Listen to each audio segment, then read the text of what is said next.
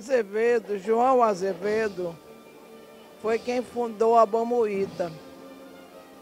E a Bamuíta funcionava com o agrado do povo. O povo gostava muito da Bamuíta.